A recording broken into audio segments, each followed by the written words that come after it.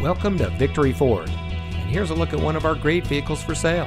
It comes equipped with heavy duty trailer tow package, Bang & Olufsen premium audio, garage door transmitter, SYNC communication system, rear view camera, third row seating, rain sensitive windshield wipers, AM FM Sirius XM radio, leather steering wheel with auto tilt away, heated rear seats, and has less than 15,000 miles on the odometer.